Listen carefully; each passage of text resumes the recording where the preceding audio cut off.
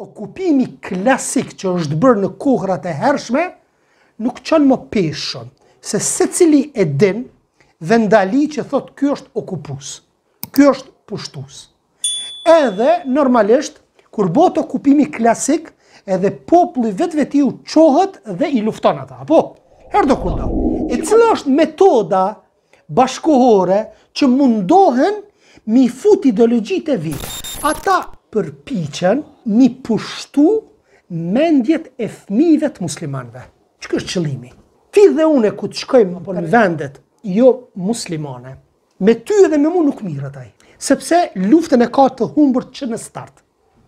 se na jemi të pjekur Na jemi të thekur në fenë e Allahut azze ue xhel. Edhe pse ka njerëz, edhe pse jonë të rritur mirëpo i mashtron apo dynjoja. Ata e bëjnë këtë gjë duke thot ua injektuar apo duke ua, ua injektuar vlerat e tyre apo kulturat e tyre apo dhe fëmija është sikur kaseta vllazni përnjëherë përthith e përthith atë kulturën ku jeton dhe i duket I duket kulturë apo vlerë e mirë.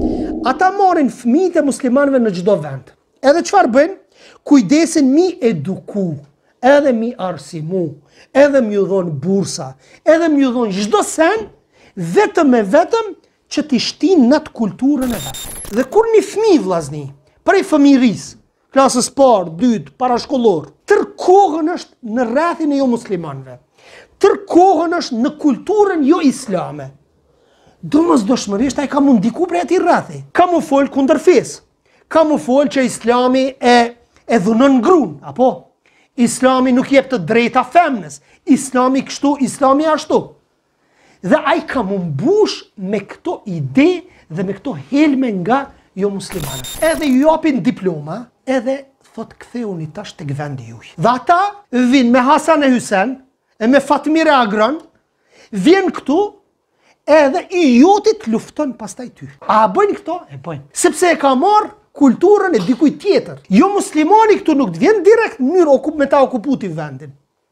Mirëpo të okupon ideologjikisht. Vjen edhe ju jep pozita njerëzve kur ka njeriu diploma vjen për shembull prej një prej një shteti që është prestigjioz, universitetet prestigjioze botërore, edhe merr diplomën dhe thotë ktu në Kosovë apo në vendet e muslimanëve, kqyr çfarë diplome kam une? Edhe ai e ka derën çel për pozita. Dhe kur ta merr pozitën ai këtu, Pastaj e hedh atë helmin kundër kulturës tonde. Ta sjell homoseksualizmin si vlerë, apo? Ta sjell bashkëjetesën si vlerë. Ta sjell nesër incestin, martesën familjare brenda familjes.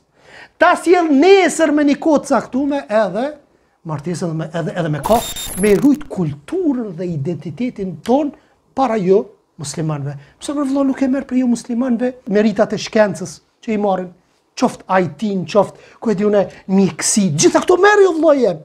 Kulturën mos ja merr, na e kemi kulturën tonë. A di sa pare sa fonde derdhen për këto organizata jo qeveritare civile që thojnë apo?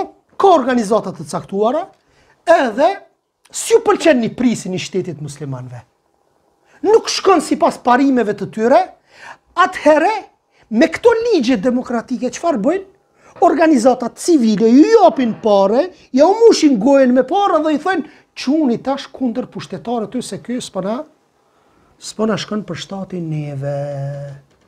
Edhe në emër të demokratisë, si e ki familjen tonde o vllai jem, Ti je shqiptar dhe ruje atë kulturën tonde që e ke në këtë në këtë rreth. Bile pa ta lexu disa misionarë thojshin pika e parë që e bëni tek fëmijët e muslimanëve apo tek muslimanët është me largu pi fesë.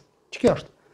Feja është barriera ma e fuqishme që ballafaqimin kryesor që që që ata s'munden me e tejkalu. Feja. Të tjerat i tejkalojnë. Sa do që ki patriotizëm ti? Sa do që ki shqiptari? Ka me ta thy atë barrierën ty.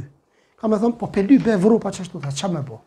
Njime, na jemi shqiptarë, nuk muj me leju unë familjen time me pas homoseksual, apo ku e di unë, domethonë, këto, këto që i kanë, këto jo muslimanët. Mirëpo, s'kemi ça me bo, na po dut me hi nëpër organizatat e huja, nëpër organizatat jo islame, nëpër organizatat perëndimore, atëherë pe dim që është gabim sen, mirëpo, feja është ma e fuqishme që të mbron nga këto sulme. Nga këto sulme që mundohen domethonë me degjeneru një popull. E ti, si shqiptar, si musliman, nuk e ki këtë mençuri. Ruje vendin tond o vllai jem.